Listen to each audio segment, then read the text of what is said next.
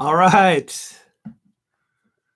Evening, everybody, or good morning, depending on where you're at.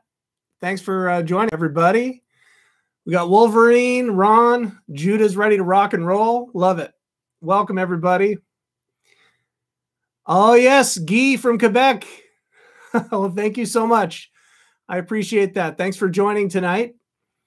We're going to talk about uh, Dries here from California, of course. What's up, Dan? Welcome, welcome. Hope everybody's doing good. Uh, Eddie G, what's up? Martin from Massachusetts. Excellent. Todd from Vancouver. Awesome. Lived uh, for nine years in Vancouver, so uh, hope things are well up there. New Zealand, Phil, welcome. Ron from Vegas. Rock Rick and Sticks. Rick Sticks checking in. What's up, man? Teddy, Charlie Boy. All right. Jim King from Ontario. Kingston in the house. Scott, Sacramento, Tony, excellent. What's cracking? Ian, welcome. Good to see you. Jared, we got lots of peeps jumping on. Costa Rica, I love it. Fred, Alan, what's up? How's it going, everybody? I want to give everybody a shout out from uh, Wisconsin, Randy, Ron from Boston, Mo's here, awesome. Thanks for uh, for coming on in. MKA Melt is here from Tripoli. That's crazy. That's awesome. Excuse me. There's like a firefly in here or something on the microphone. Pittsburgh in the house. What's up, Andre? Wolverine is here. Wolverine, what are you doing here? Your wife's birthday is right now. Mr. Daniel of Black Metal Thanks for joining us, Todd from Kingston, home of the hip. That's right. What am I going to play a little? Uh,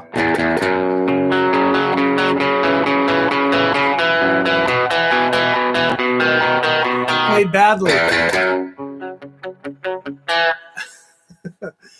All right, David Walker from Atlanta, excellent. New Englanders tonight, Syracuse. Jody one, excellent. Music Bill, all right. Well, listen, we got a great uh, crew tonight. I, I appreciate each and every one of you joining in tonight. Let's kind of get to it a little bit. Uh, for those of you new to the Friday Night Live or the uh, YouTube Live here for Guitar Tricks, uh, do like a lesson. It's an hour session. I'll do a lesson, talk about stuff, but uh, there's all, hopefully always time for questions at the end. Anything uh, guitar related. Doug, what's up from Castlegar? Love it, man. British Columbia. Excellent. Uh, so if you have any questions at all, throw them in the comments there. I'll go through them towards the end of the hour. And uh, San Diego's in the house. Thanks, Tim. Good to see you. All right, so uh, chord arpeggiation boot camp. So some of you have been coming. Oh, Macedonia, welcome, welcome. Excellent. That's awesome. Vietnam, amazing. Jeff, Howdy, what's up? Uh, I did do an arpeggiation uh, thing. It was uh, called an arpeggiation workshop maybe a couple months ago, three months ago, four months ago, in that range. It might have even been on Facebook Live. uh, but uh, I, I, got a great question. I believe it was from Mo in my uh, in uh, on my forum on guitar tricks wanted to you know had some great questions about arpeggiation i thought you know what it'd be fun to go through some uh, in a little more detail some things uh, i unfortunately no i do not know any macedonian songs sorry about that uh, i'm like a classic rock guy dude so uh, unfortunately i can't help you out with that Uh, okay, so I decided to make this our arpeggiation boot camp. We'll talk a little bit about. All right, Union City, California. Excellent. Welcome, welcome. Uh, so, chord arpeggiation. What is it? Right. Uh, we talk about arpeggios or chord arpeggiation. They're sort of a different thing, uh, closely related. When you think about the notes, the individual notes that make up chords, okay? uh, when we play through those notes, uh, they can be an arpeggio. But a lot of times when we're talking about arpeggiation, what we're talking about is playing a chord, and instead of strumming it, we're going to pick individual notes out of the chord and let them ring out together. This gives you a whole different feel, a whole different texture uh, versus strumming. and picking the notes.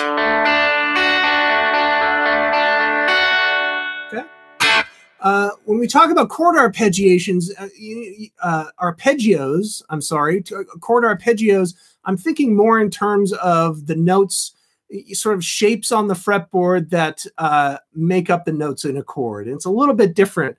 So, for example, you know, a C major arpeggio might look something like. Uh, that kind of thing. And, uh, you know, arpeggios are used in metal, well, all genres really country, metal, jazz, right? As a way of sort of playing leads and embellishing chords and, and improvising off chords particularly, or a minor arpeggio, right? Like, it's a little bit different than, you know, playing an A minor and holding a shape of a chord and picking the notes out individually, let them ring out together. That's sort of what we're getting at with the chord arpeggiation. Okay, uh, before I get into some examples, and uh, oh yeah, by the way, uh, there's a tab for those of you unaware uh, expand the description right below this video. There is a PDF download of uh, the examples I'm going to go through tonight. Okay, so uh, and yes, Dree, we'll talk a little bit about raking at the end. Remind me, I'm going to actually make a note of that because I don't want to forget.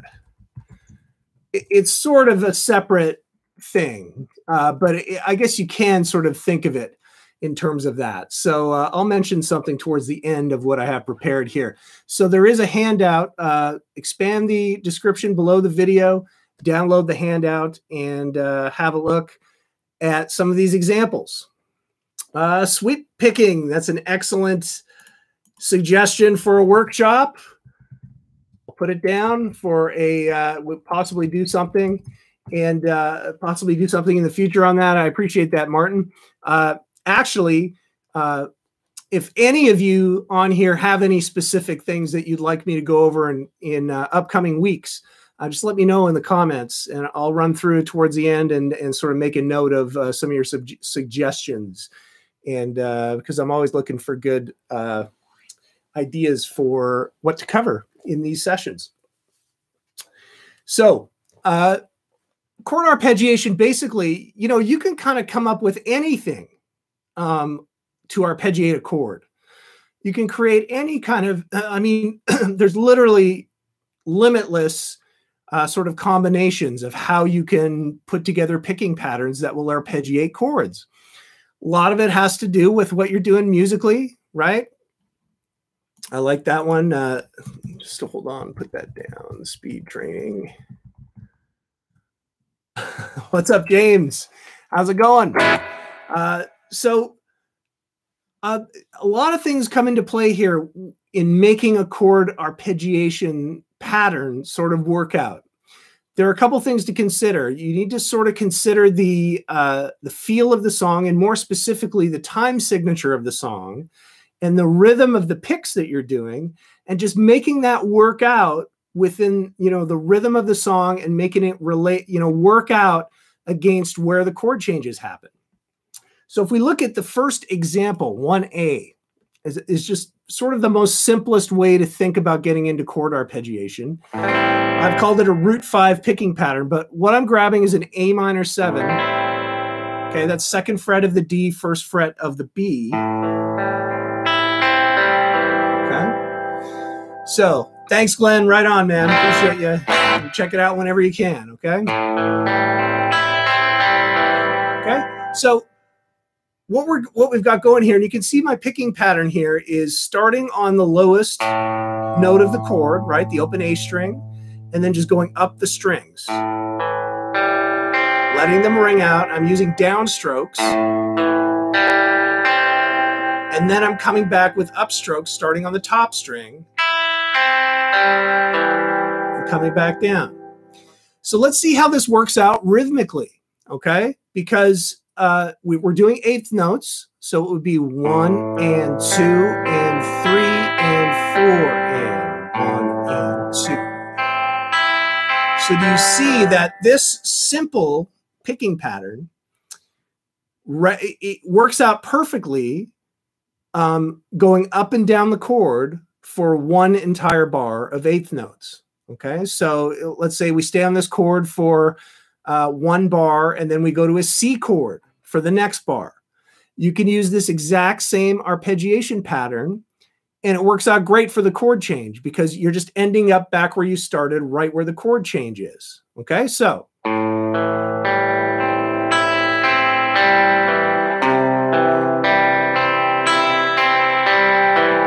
Right on, Ed. Yes, we're going to get to that. We're going to get to that. Okay. We're going to get to the House of the Rising Sun. Yeah, Wolverine, how important is it to upstroke the high E strings? Uh, a self taught bad habit can't seem to break. Well, listen, so here's the thing up, up. Okay. But that's a, that's actually okay if you have if that works for you okay oh no do we lose it am i back is everybody okay? Is everybody there? Oh no. It is still saying I'm connected.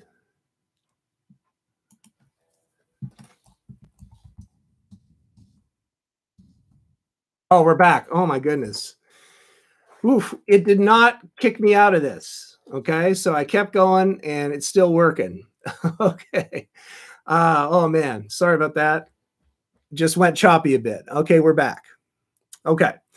So I was talking about the picking pattern. Okay. Thanks. Thanks for that. Yeah, I'm going to knock on wood here. okay. Now I get into the habit of doing this pick in the direction you're going to. Okay. So, but in this case, it really does depend on the economy of motion of the picking pattern you're using because in this simple case, okay, you could do all downstrokes and then come back up on an upstroke if you wanted to. Now, I find that a little bit difficult because you see how now I've done a downstroke on the top string and now I have to get to the B string on an upstroke. So it's, it's, it's like I'm in danger of hitting the upstroke. Coming uh, with the upstroke, I'm in danger of hitting the E string again to come back down the strings that's why it's it's good practice to be able to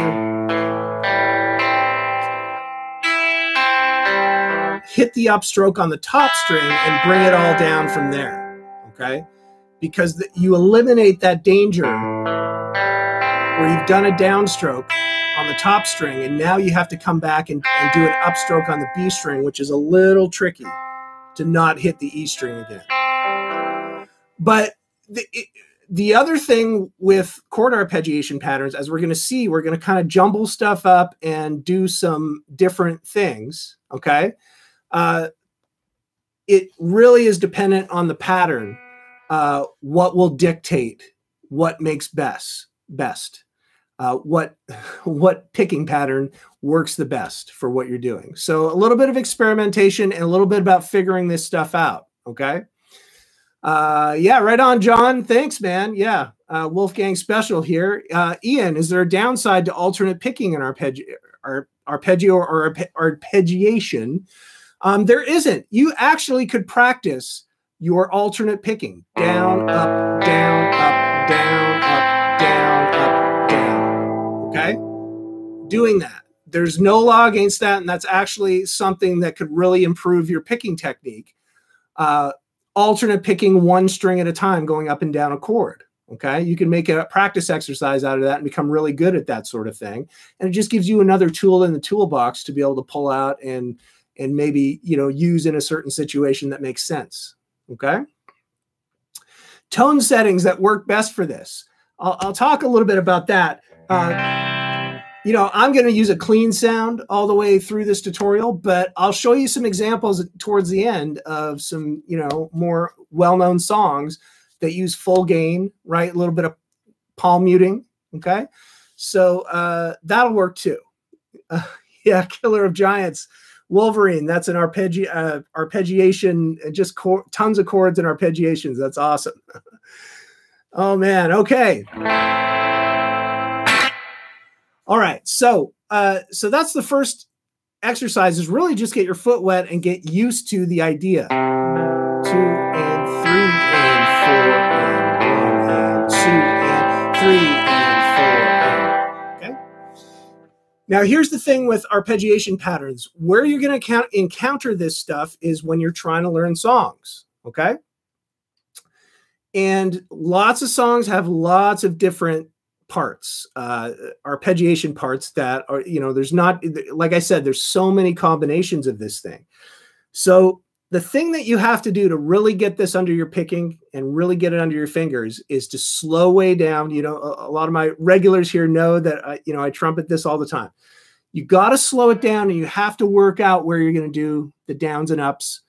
And you just have to keep at this so slow, okay? And work your way up to being able to play this up to speed, okay? Because some arpeggiation patterns are just tough to get right off the top. And the, the only way to do that is just to slow it down, make sure you're doing it correctly, but go just really slow with it, okay?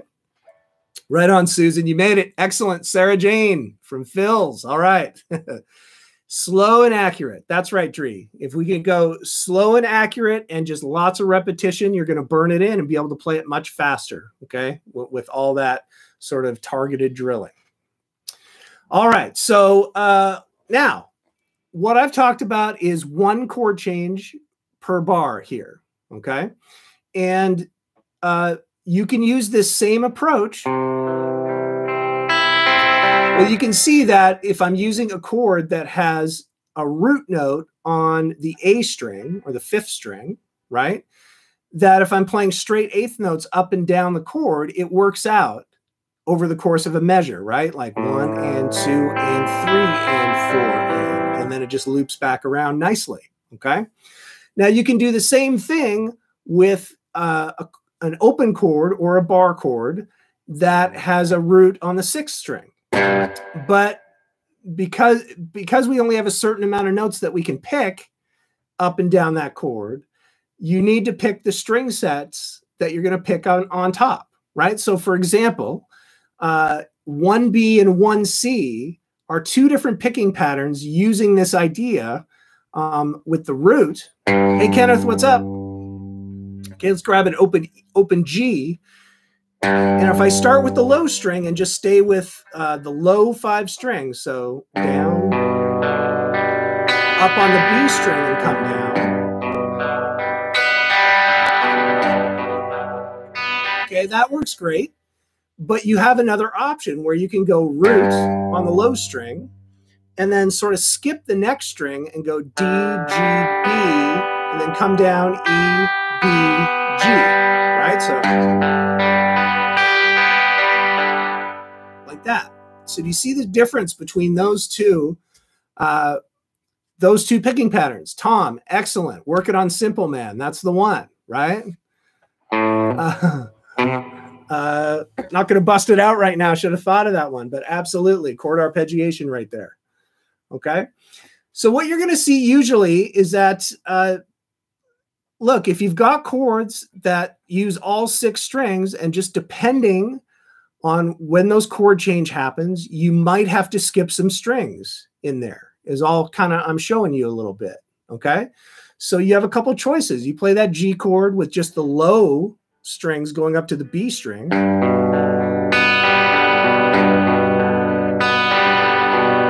Or you can pick the low note, skip a string, and arpeggiate the top strings. Okay. Just different sounds, right? Um, the upper strings might work better. Say if, if you're going from a C to a G chord, right?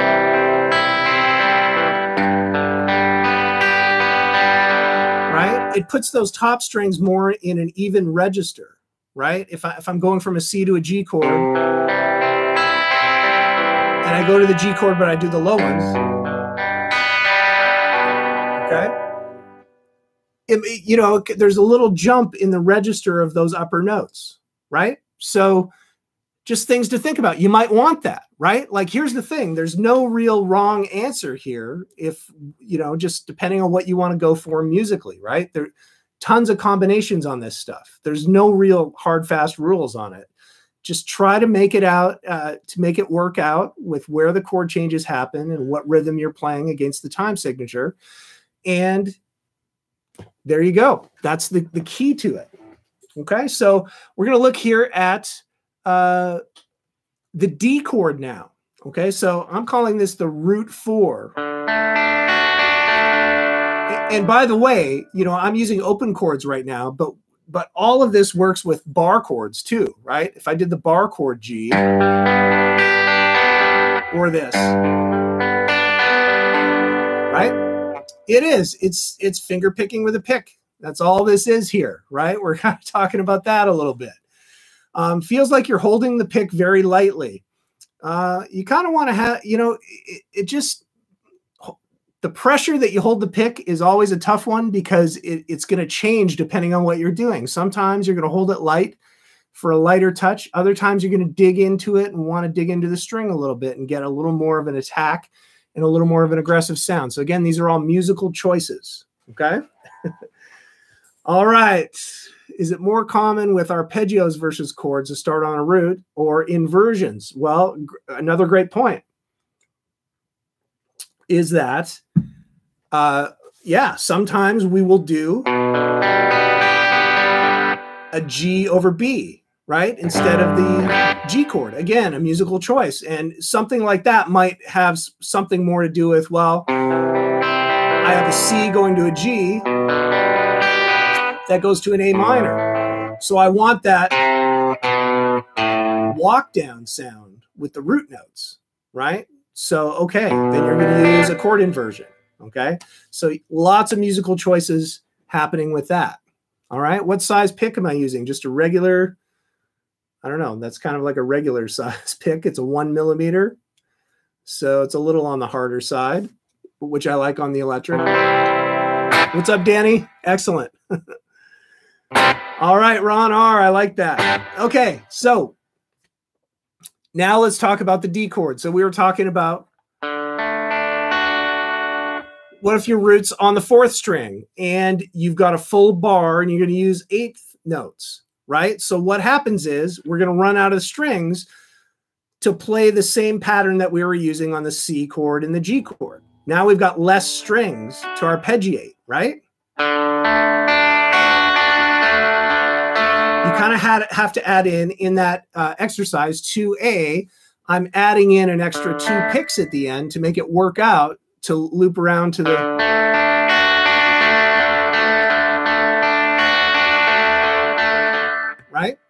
and so what we might introduce here is exercise 2b picking pattern number two where we're going to sort of mix up the picking pattern a little bit so that it fits that chord that's only using four strings. It fits it a little bit better. It adds an extra texture to it, right? Because now we're introducing different directions into our picking. Okay, so I'm going up. I'm just doing two downstrokes on the D string and then the second fret of the G. Then I've got an upstroke on the third fret of the B. Then I'm going to change directions again. So I've got a downstroke on the second fret of the G upstroke on the top string and the B string, and then back to the G string with a downstroke, upstroke on the B, okay?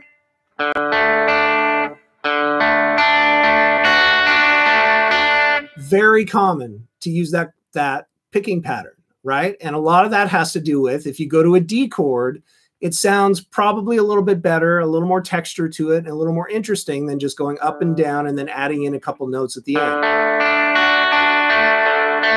Although you might want that, right? And Ian, great, great one. Yeah, I should have thought of that one too. Anybody out there? Another great one. And that's an example of one, just a sidebar, uh, where we were talking about starting on the root. In this case, there's a motion happening starting on the fifth of that A minor chord. I'm talking about this Pink Floyd song.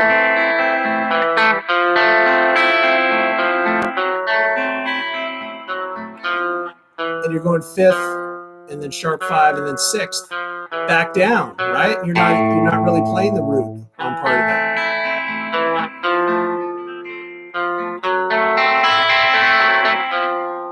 Anyway, I digress. But yeah, good choice there for another one to learn that really get inside this sort of technique a little bit. Okay, so uh, getting back to exercise 2B, now we're adding in some different directions. Okay, now we can do this with root 5 and root 6 chords too.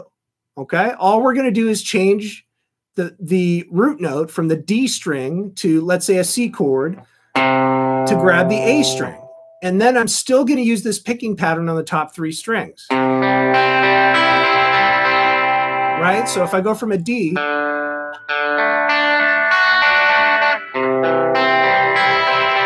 messed it up, but.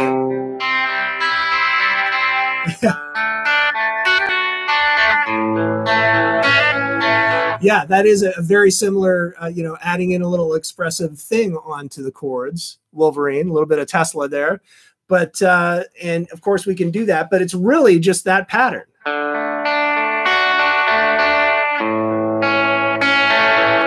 Okay, that kind of thing.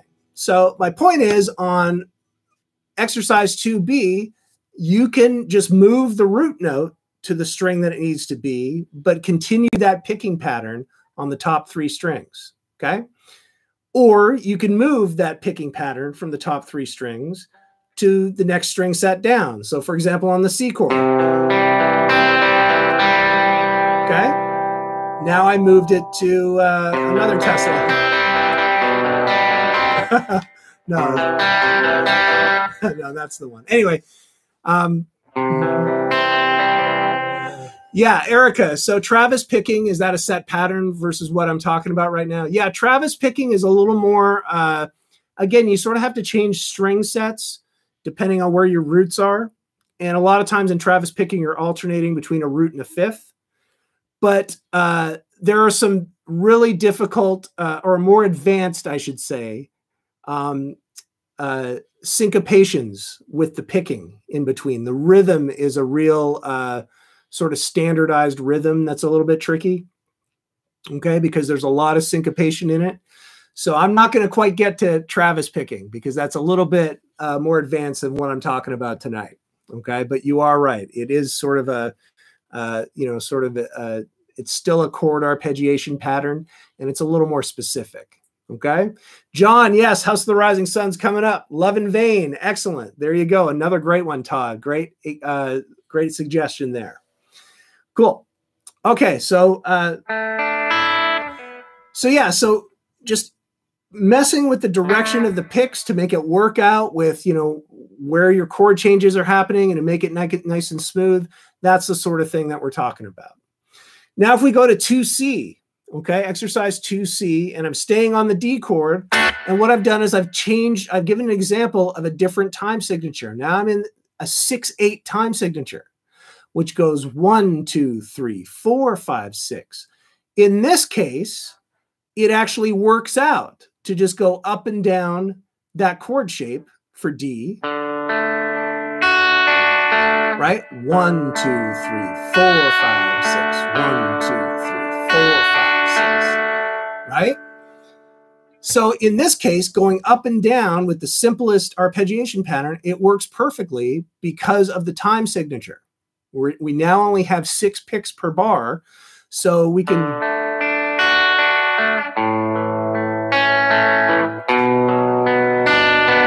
Right? It all works out if you're doing a chord change per bar to do that picking pattern. So that's another example. All right, everybody hurts. All great stuff. Zeppelin, babe, I'm going to leave you for sure. Absolutely. Um, that one's a little more uh, involved with just you know switching directions a little bit. And uh, i wonder if page used finger picking or a pick on that. I'm not 100% sure on that one. Sounds like maybe he was using a pick right? All right we're going to keep going going here on uh, going to 2d so what i'm doing is basically taking that directional path. I, I, actually jumped the gun on this one because I think I already said this. But if you take that C chord and just use that picking pattern from picker picking pattern two from 2B and just apply it to a C chord.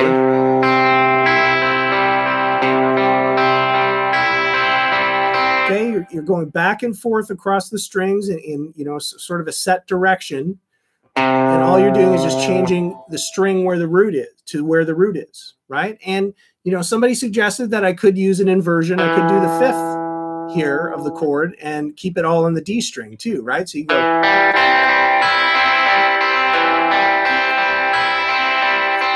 That's always an option too. Okay. Like I said, lots of variations here. Okay. Uh, so again, on the C chord in 6 8 time, say, it'll work out just with, again, going straight up and down the top three strings, but you're playing your root on the A string. Okay.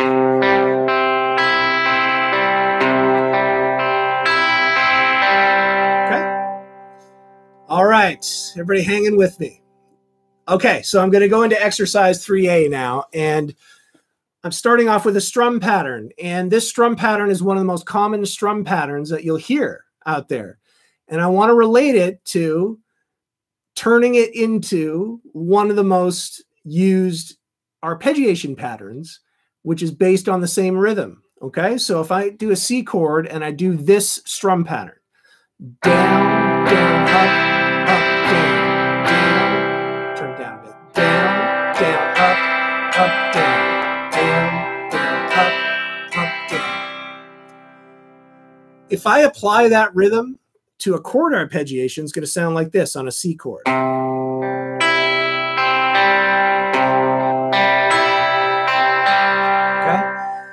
Now, there's a few differences here because when I'm strumming this, I've got my down ups locked to the rhythm. So they're sort of happening differently than the way I would pick it because I'm going down, down, up, up, down but it doesn't really make sense if you're going to pick single notes out of it to use that picking pattern. Okay, so here I'm just following the direction of the strings. Okay, two downstrokes and then three upstrokes. And just notice the texture of this. You'll recognize this where you're hitting three eighth notes, but you're letting one of them sort of ring out for an extra eighth note before picking up the pattern again. Okay. And it gives you that same feel as this strum pattern.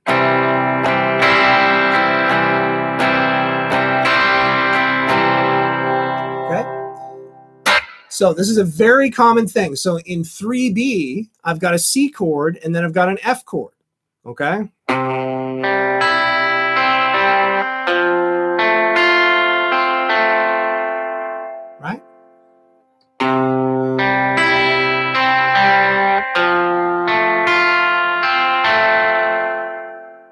And of course, this can work on bar chords as well, uh, different chord shapes, whatever. We're just talking about sort of the picking pattern. You can apply this to any string set you would like. Just a very common arpeggiation approach. So if I look to 3C, what I can do, uh, another variation of this, is to strum the first parts of the chord and then add in arpeggiations at the end. This is also a very common thing.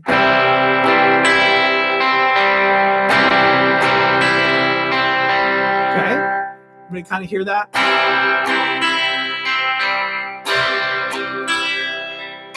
Whoops, messed it up. Okay. Another very common approach here is to incorporate strums and add in some arpeggiations. Okay.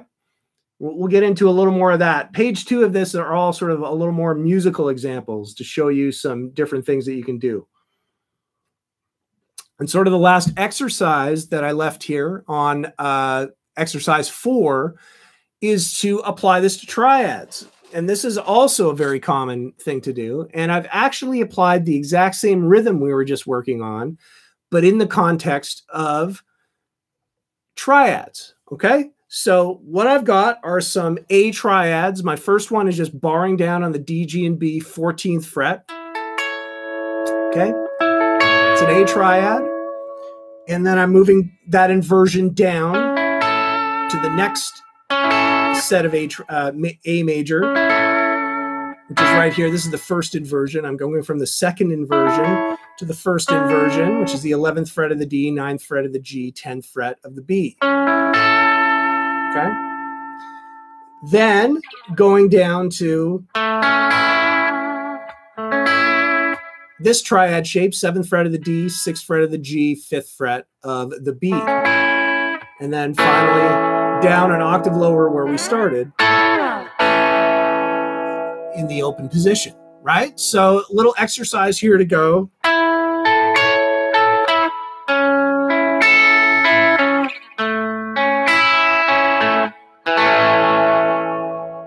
All right. Cool. I love it. The harmonic stuff. Excellent, Jeff. I love that. Okay, so uh, I just chose uh, the D, G, and B strings in a major. You can use these for minors. You can use them on different string sets, right? I can go up for D.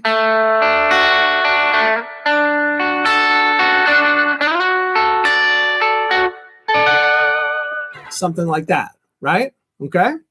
So there's that, some triad arpeggiation. All right, let's get into some examples here. So a lot of this is sort of going to be reviewing what we talked about in the first page but uh, more sort of specific musical examples. Okay. So, first one is in 6 8. Okay. And this is a, a, famous song, Sleepwalk. This is sort of like, it's not uh, exactly, I don't think they actually, well, I can't say that the version on guitar tricks that we teach does not arpeggiate the chords, it strums the chords. But it sound, this is the kind of chord progression that sounds really nice with some chord arpeggiation. So you're starting on a C major. It's the upper part of a C major bar chord, 10th fret of the D, 9th fret of the G, and barring down on the 8th fret of the top two strings. And then we're going to go to A minor, 7th fret of the D, barring down on the 5th fret of the top three strings. That's our minor shape. Then we're going to slide our minor shape down to F. So I've got the third fret of the D, but I've still got the same shape, first fret of the top three strings, and then bring it up two more frets and go back to the major shape, fifth fret of the D, fourth fret of the G, barring down on the third fret of the top three strings. This is a G major. Okay, so this is a pretty common chord progression with a little added twist that you've got two minors in a row uh, that's a little bit more specific to the to the sleepwalk song, but it's definitely a cool sound. And so we can arpeggiate this. It just sounds really nice in six eight. Peter, what's up? In six eight, it just you can't beat this floaty, dreamy, straight up the strings and back down.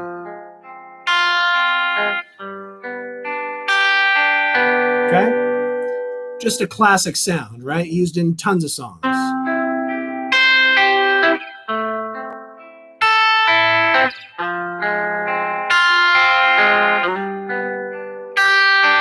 Yes, Ian, that's what I'm referring to, the old Santo and Johnny classic, of which there are many versions. So, like I said, the Guitar Tricks version that I actually taught uh, uses chord strums on on that, but uh, it's fun. It sounds really nice with the arpeggiations as well.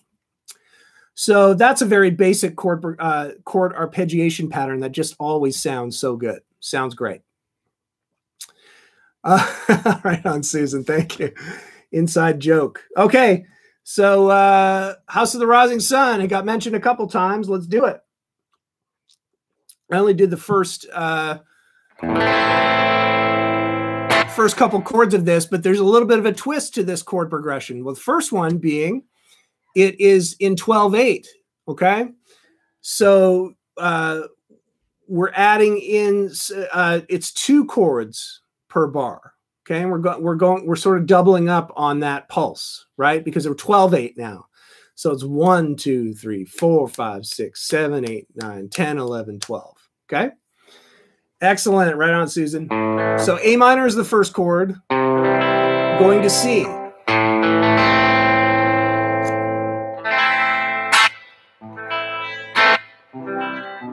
Okay. So.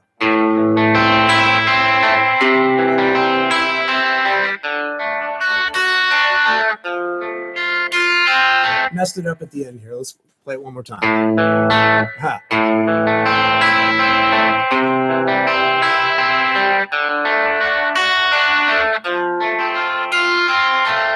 So a couple interesting things in this in this arpeggiation pattern. The first one being adding in those 16th notes. Okay, we're, we're picking mostly eighths, but we double up on the second pick. Okay, going into two 16th notes over that little subdivision, right? So you've got that thing going. And then it's just straight eighth notes coming back down with the upstrokes. Uh, so, yeah, absolutely, Mr. Daniel, I'm with you on that for sure. Okay. C chord, same picking. Now check out what happens, what they do here when you get to the D chord. Now you're now you've you're you're arpeggiating four strings instead of five. So notice the double note at the top string. Okay? That's how they do it, right?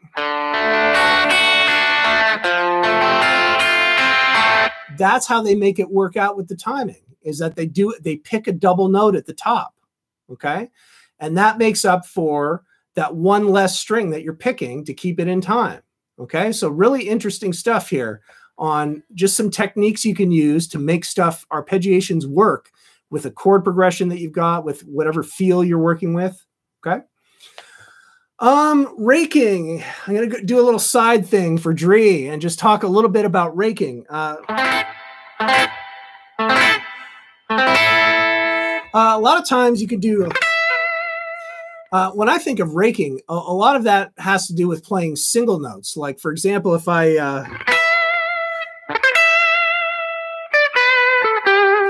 if I'm playing a lead or something and I want to like kind of come into come into a note, there's a couple of ways to do this with a rake. So the first one is that you just kind of do the the the open strings to like say a note on one of the top strings. Kind of like that. You see? And it's just adding this percussive sort of cool sound to it. It's being a little bit expressive, right?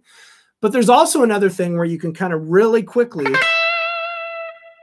do like a chord shape coming up to that note. So for example, let's look at an, like an A minor shape up there. And that rake is so fast you don't really you don't really hear it um, you know, super coming out, but so that's just a variation of doing a rake where you're actually hitting a chord shape and kind of coming into a single note. So it's sort of related to chord uh, arpeggiation, but you know, now that I've so, I'm sort of playing with that, not really. It's more has to do with some single notes and just you know making it uh, sort of emphatic, coming into a single note. You know what I mean? Like just you know raking across the string and just you know it's just a way to be expressive on single notes, really. But you can't. Yes, you can you can kind of add a chord shape to that if you want to take it to the extra level of just you know making it sound a little more musical with those. But it happens really fast okay? That kind of thing okay? Cool great question. Thank you Dree. okay so house of the rising sun good stuff in there right? I uh, had another example here from the country side of things classic country folsom prison blues and this sort of comes out of uh, the uh, the solo. It's it's not quite the same, but you can see that uh, that first bar. The first bar is arpeggiating on four strings, starting with sliding into the root note, seventh fret of the D, and you've got an A major shape from the bar chord up top. Excuse me. So you've got this the seventh fret of the D, sixth fret of the G, barring down on the fifth fret of the top string. And again, we've got that picking pattern with that rhythm, right? Where we're going into that top note and letting it ring out and then picking it up on the notes coming back down. But watch what happens in the next bar. He's going to go to three strings. Exact same picking rhythm, but playing the notes on three strings, right? So you're starting with that root, and then you're picking on the top three strings. Second bar, you're sliding into just this triad shape, sixth fret of the G, fifth fret of the top two strings. And at that point, it's just like that triad exercise that we were doing, right? Uh, okay, just switching it up a little bit for a different sound. Pretty cool. And then sliding up to a higher triad for A, higher A major triad. Sliding in. Okay, ninth fret of the G, 10th fret of the B, ninth fret of the high string. Second inversion, A triad. Okay, that comes right out of the solo a little bit. That's just a little chunk of that solo, but it shows you how those triads are being used and some different ways that you can approach arpeggiating those. All right, exercise eight, a la Triumph. This a lot of you might not get this reference, but uh, actually, Triumph, the band, came up last week, so uh, I had it on the brain and I thought of this song. It's actually uh, the breakdown section from a song called Fight the Good Fight for any of you out there who know who are familiar with Triumph. But uh, great arpeggiation approach here. And we're starting on a D minor chord. Okay.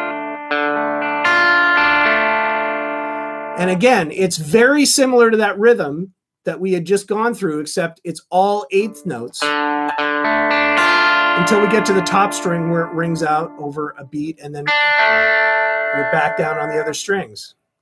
All right, Jeff, I love it.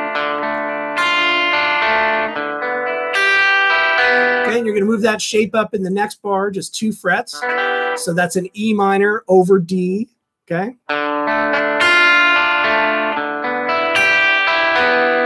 Okay, and then the next shape is the D major shape. Okay, which is uh, the fifth, sixth, and fifth fret of the uh, top strings, that's going to be an F major triad. right on. I love it. All you Triumph fans out there, I love it.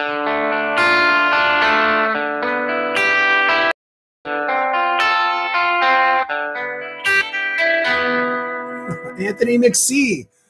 Cheers, my man. All right. So yeah, this is a great uh-huh. Triumph motorcycles are awesome. I love it, Peter. Good one. Okay, so added little thing here in the fourth bar on coming back down on this D minor triad or E minor uh-huh. triad. Just doing a quick hammer on and pull off on the top string. It just adds a nice little embellishment. Okay, so.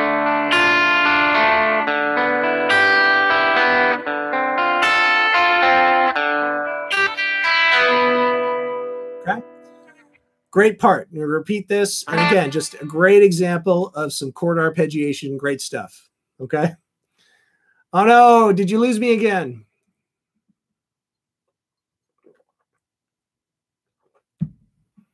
Oh. Am I back? What's up? Let me know I'm back. I hope I never left. It's not kicking me out for some reason this time. It's very strange. All right, Susan, I'm still going. I'm just looking weird. I guess I gotta I gotta find a more strategic place for my router. Okay, we're here. Good, good, good, good, good. Okay. Sorry, it's choppy with some people. Thank you, sir. Gotta have my goblet. We're we're going uh, glassware tonight. okay. All right. Well, hopefully we can hang in here for the last 10 minutes. I, I apologize if it's not coming through loud and clear for some of you. Uh, okay. So that was the Triumph exercise. Okay. So now here's another great example. So uh, got to go to Boston. Okay. Uh, more than a feeling, right? Now, this one has a very specific arpeggiation pattern. Okay.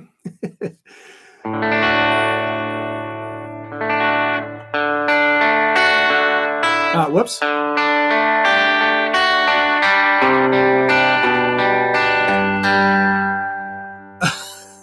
you guys are hilarious. Okay.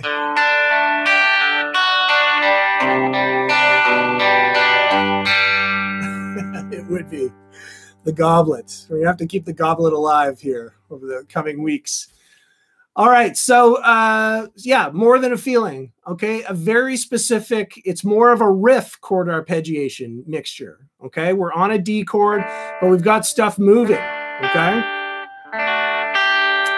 you've got a sus four going back to the D major, and then you're anticipating a move to the C sus uh, C add nine G over B, or the G, I guess. Okay. So with this one, this isn't like a, a core uh, an arpeggiation picking pattern that we covered yet. Okay. And uh, so how do we practice this, right? Like you've got to just figure out, okay, what you go slowly, take it, you know, like half a bar at a time, right? Just get that first part. Okay. Right? Maybe it sounds good when I'm going down, up, down, up. Okay. Right? Just take it in little chunks, really slow, lots of repetition, and you're going to burn that in, right? And I'm not very good at it now, but I taught this song for Guitar Tricks like several years ago. Okay. One of the Boston songs that still survived the cut. It's still on Guitar Tricks, thankfully we still have some Boston on there. Um, so I, I mean, I had to work really hard. I remember that it didn't come immediately for me, right? Like I had to uh, keep working on that and go slow and keep get it under the fingers with lots of repetition. And then it was there. And now I'm trying to play it. And it's not there anymore because I haven't played it in years. But there you go. Okay. That's what we got to do to get it get it going. Okay. So, uh, last turn on some distortion. I know this sort of came up earlier. And so, Halen example here is, you know, more of a right. It's again, it's, it's like the Boston thing. It's an chords being arpeggiated, but sort of turn into more of a riff Okay, and now I've got some distortion. I'm using some palm muting to like keep it tight. Which of course is a great technique if you're if you've got a crunch sound or you've got some distortion, you can use. yes, harmonics detected. Andre, I love it. the palm mute. Yes, Ron. So when I've got a lot of distortion, Okay.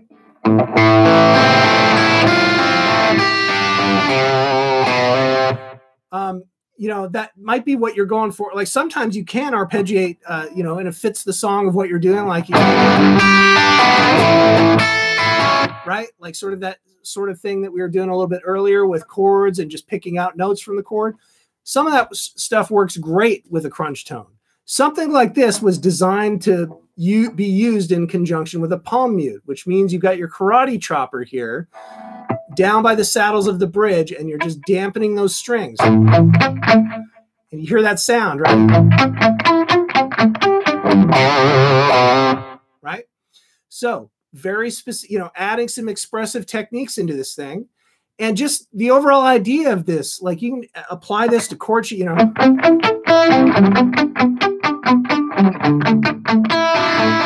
you know, kind of go back and forth between palm muted and opening up a little bit.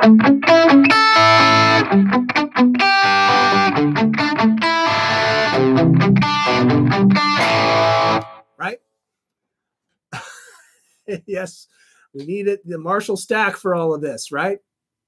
Just showing you what you can do with this. Of course, with a distorted guitar, you can arpeggiate chords, put some palm muting on it to make it nice and tight and sort of, you know, give it that little, you know, really expressive sound or make them pop out with full distortion, right? Like, uh,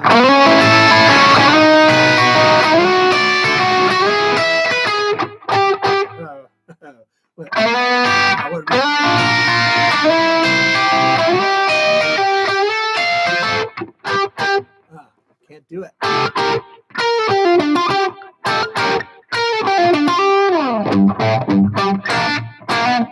That was a bad Zeppelin there, but that's what, what I sort of thought of, right? You know.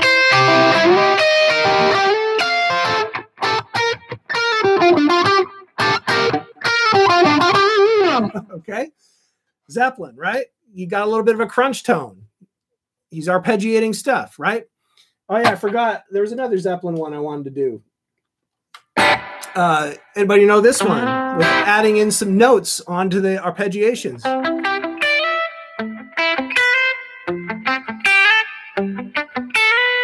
Right? So that's D'yer Mak'er, right? Like uh and uh, you've got the very similar chords to what Sleepwalk was. The only difference being, yeah, exactly, Jody one. You've got an F major, right? These are these uh, this particular chord progression, right? The one to the six, minor six to the four the five. They call those the ice cream changes. So there's tons of songs that have this sort of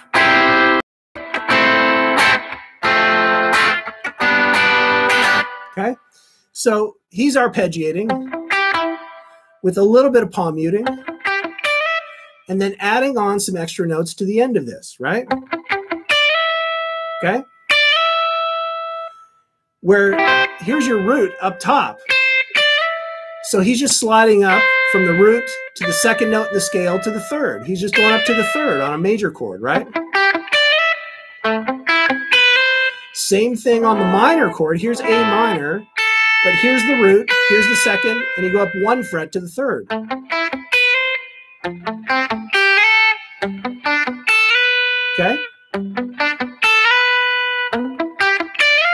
Whoops. Ah.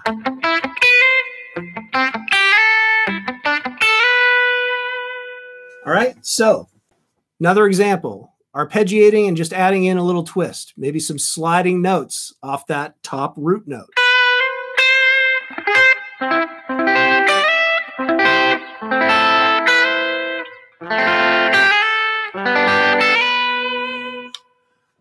Scott, how to practice to arpeggiate without staring at the strings. Yeah, so that's that's a tough one. You got to uh here's the thing.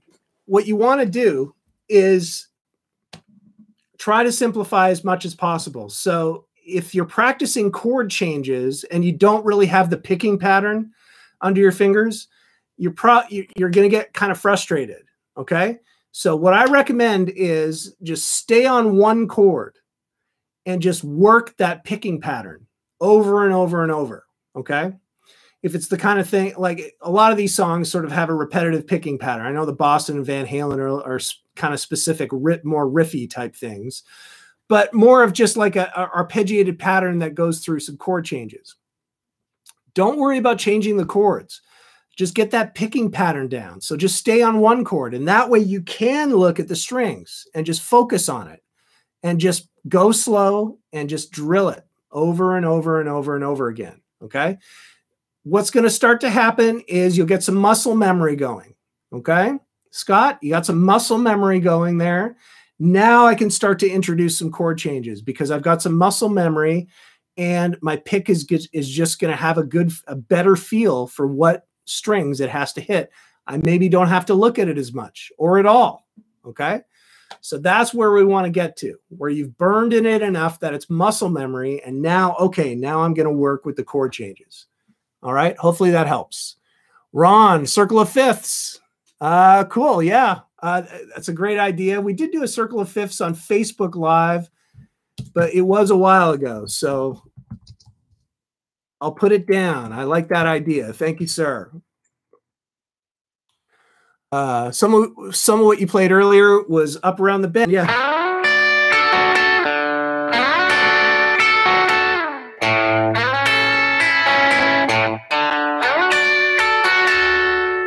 right? So sliding a triad and arpeggiating.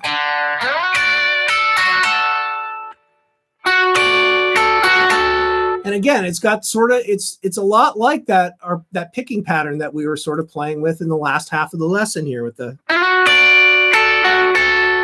like the Folsom Prison one. It's just added into a riff here with you know the open D.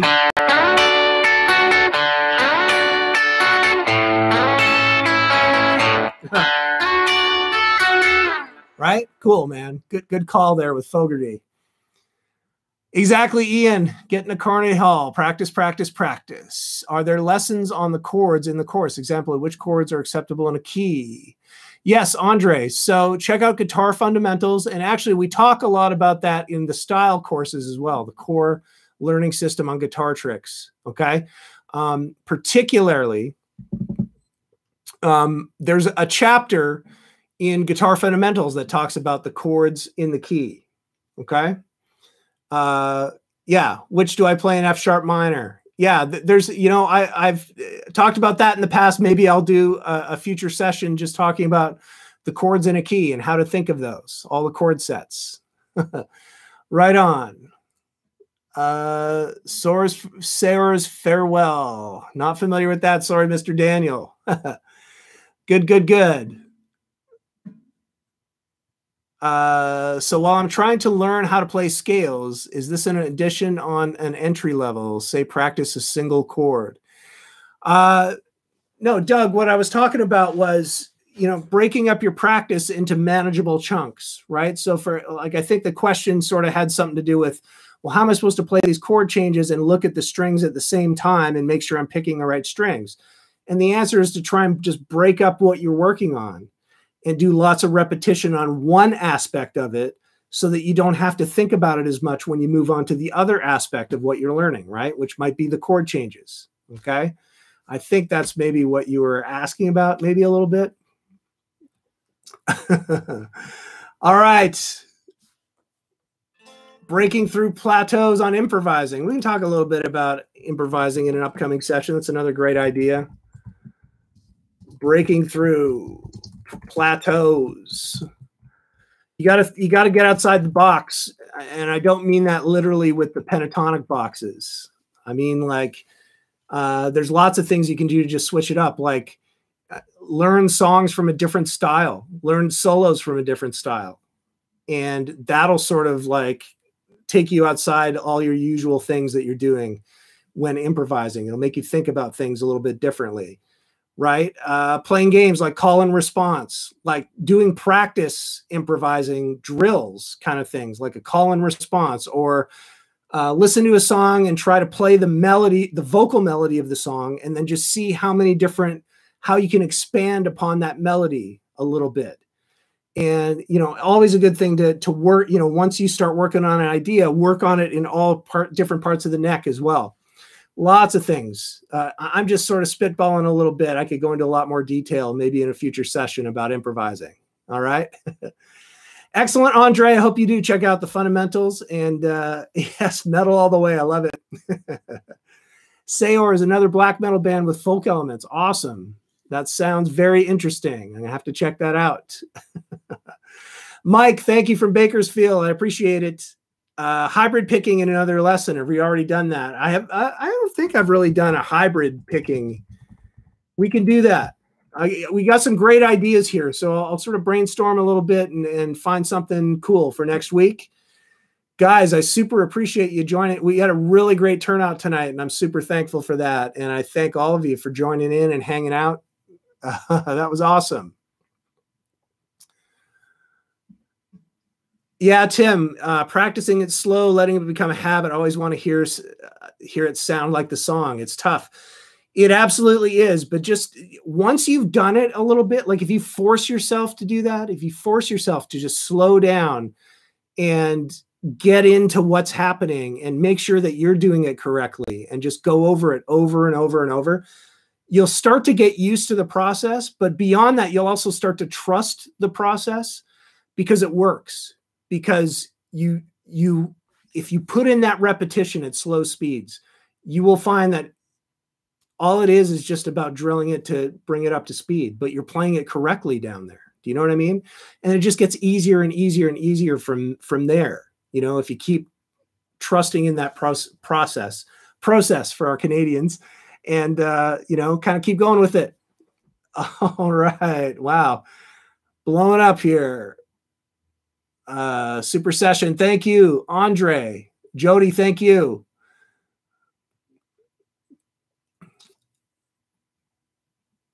Thanks, Jeff. Right on. Uh, King 50. Thank you. Thanks, Erica. Appreciate you jumping on. I can't get the same distortion from the acoustic. It's going to be tough.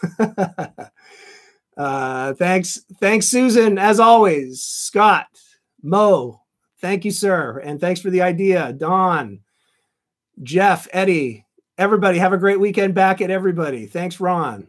oh, Sophia, we've been missing you. Get back on. All right. Thanks, Ian. Judah, working on your Alabama on guitar tricks. See you next week working on your Alabama. Sweet home Alabama.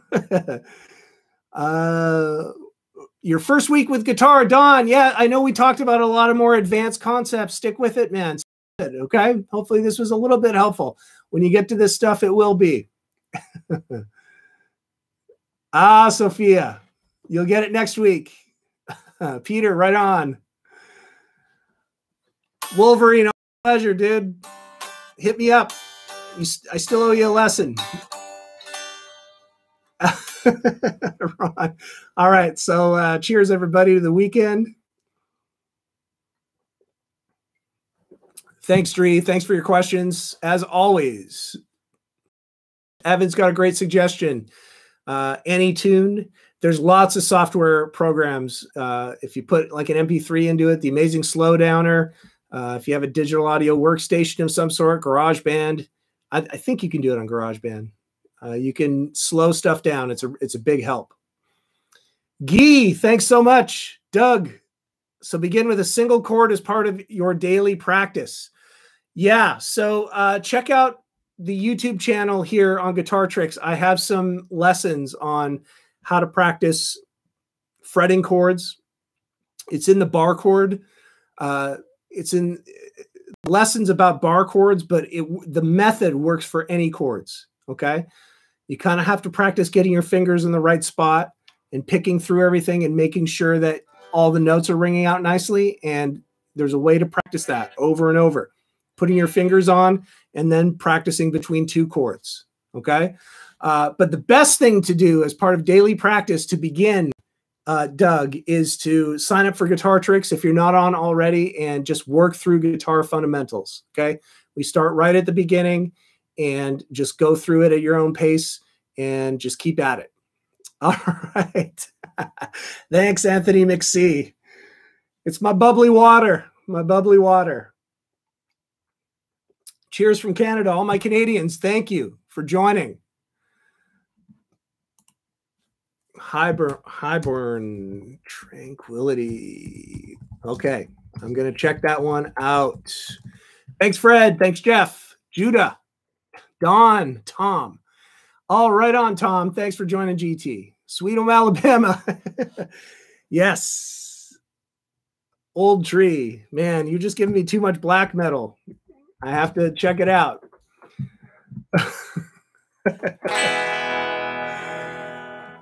All right. Thank you. Smash the like button. Get all YouTube on you. Thanks, Jeff. I appreciate it. all right, everybody. Take care. Have a great weekend into next week. And uh, we'll see you same time next week. Take care, everyone.